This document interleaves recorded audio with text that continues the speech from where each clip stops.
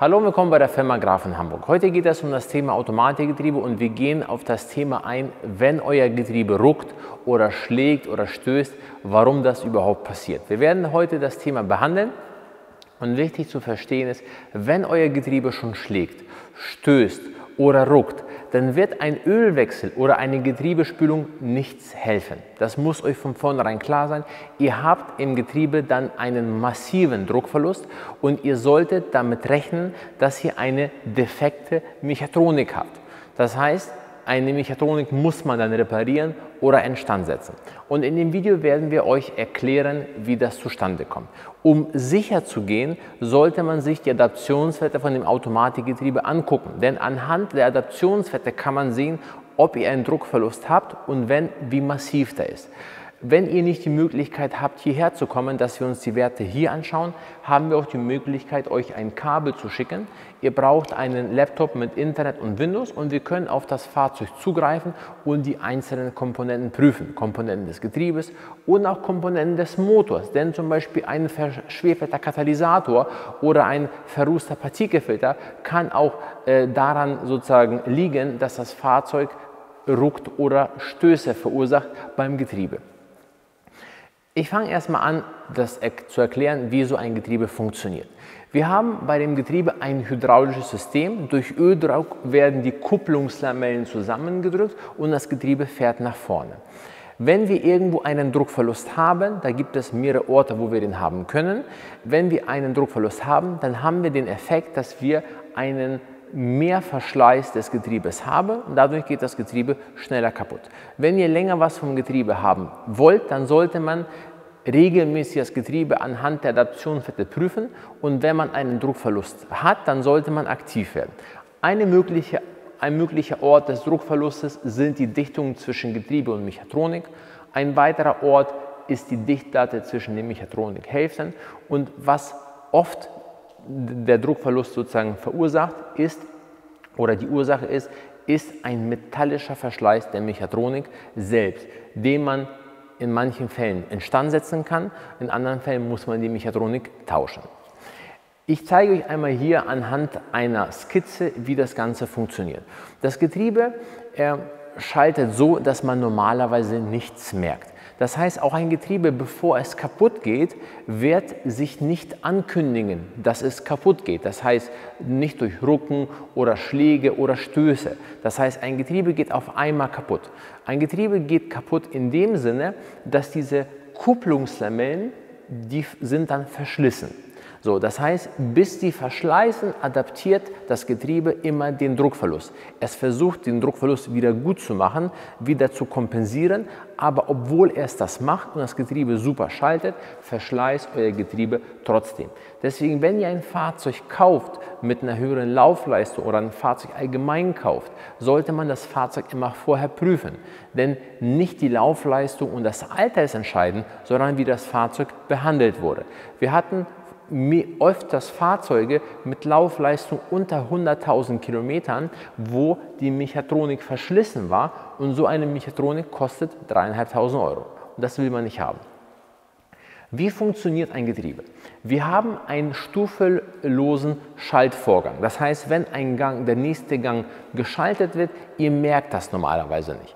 Das heißt, wir haben bei dem Getriebe mehrere Kupplungspakete. Insgesamt sind das fünf Stück. Und es ist so, damit ein bestimmter Gang eingelegt wird, dritter, vierter oder fünfter, werden immer mehrere Pakete parallel zusammen verwendet. Das heißt zum Beispiel Gang 3 hat zwei Pakete, Gang 4 hat vielleicht drei Pakete und das sind immer unterschiedliche Pakete. Das heißt, der Schaltvorgang funktioniert so, diese Kupplungen, diese Kupplungspakete werden zusammengedrückt, so wie hier dargestellt.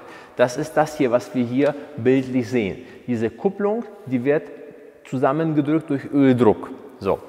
Und wenn zum Beispiel der Gang eingelegt ist, dann ist das Kupplungspaket zusammengedrückt. Und hier sieht man das Drehmoment dieser Kupplung, das ist aktiv.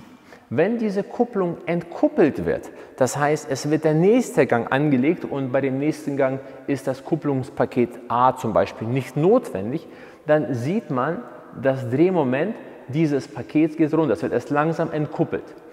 parallel dazu wird ein anderes Kupplungspaket zusammengedrückt. Ihr seht, die Kraft wirkt.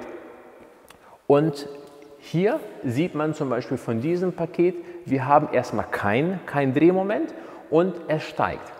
Und wenn ein Getriebe vernünftig funktioniert, dann ist dieser Moment hier gleichmäßig. Das heißt, er kuppelt und entkuppelt gleichmäßig.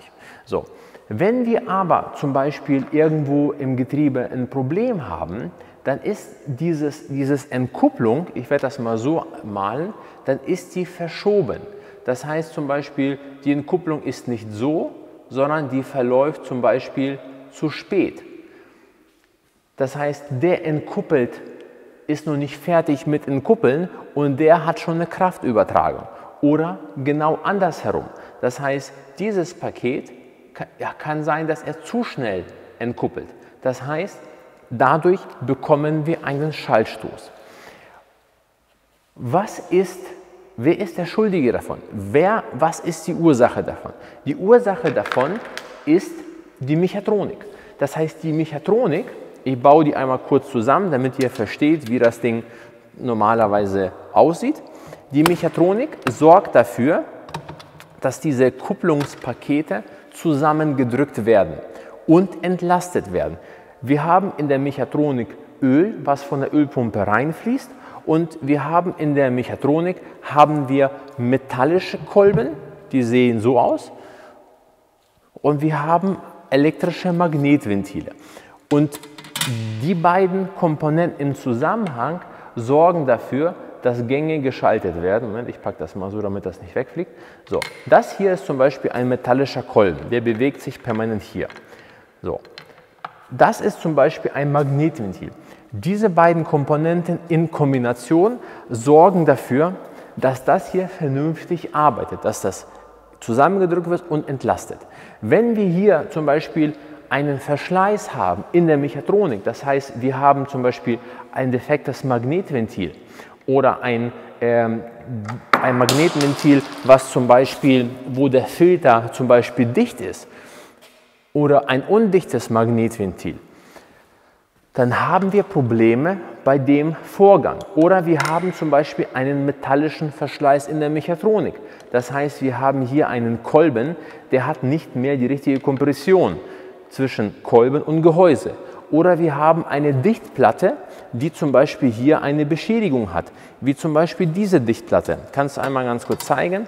Diese Dichtplatte hat hier eine Beschädigung. Diese ganzen Ursachen können der Grund sein, wenn ein Getriebe ruckt. Das ist ein möglicher Ort oder mögliche Ursache. So, das heißt, deswegen male ich einmal so auf, dass damit das hier alles äh, sozusagen äh, gemacht wird, haben wir hier die Mechatronik. So, das ist das, was wir eben gesehen haben. Das heißt, diese Mechatronik sorgt dafür, dass die Kupplungen versorgt werden mit Öl. So. Ein weiterer Ort des Problems hier kann der Weg sein. Das heißt, der Weg zwischen Mechatronik und dem Getriebe. Deswegen haben wir zwischen Mechatronik und Getriebe bestimmte Dichtungen. Deswegen ist es wichtig, wenn wir hohe Adaptionswerte haben, also einen Druckverlust, oder das Getriebe schaltet nicht mehr ideal, ist es wichtig, dass man die einzelnen Sachen prüft.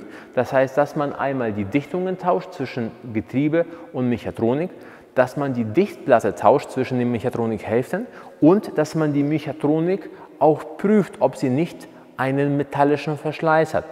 Kurzer Exkurs, wir haben hier eine defekte Mechatronik aus einem Fahrzeug, was weniger als 100.000 Kilometer gelaufen hat.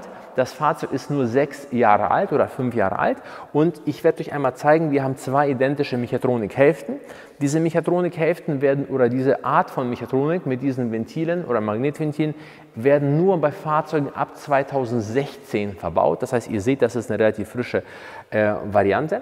Und wir sehen hier zum Beispiel, dass wir hier einen Verschleiß haben. So, das heißt, wir haben einen Verschleiß der Mechatronik. Ich muss einmal ganz kurz Strom anmachen. Einen Moment.